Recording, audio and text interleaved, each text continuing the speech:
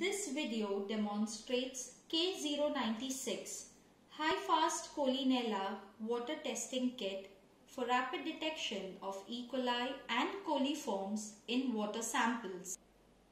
This kit contains two parts. Part A for detection of coliform and Part B for detection of Pseudomonas.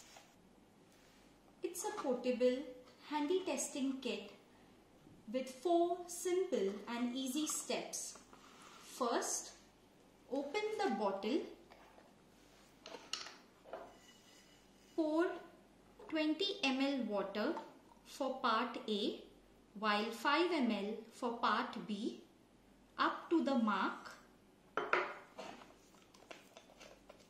Mix the contents until dissolved. Incubate at 30 to 35 degrees Celsius for 6 hours. In case of incubation at lower temperatures, the time can be exceeded beyond 6 hours. After incubation, presence of E. coli in water samples will be indicated by development of green coloration. The color panel for the entire spectrum of pathogens detected in part A and B can be seen here.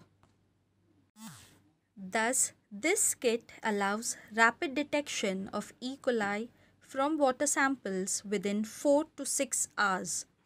It can be performed without power requirement, thus suitable for on-field testing with minimal skill requirement and the results can be read visually.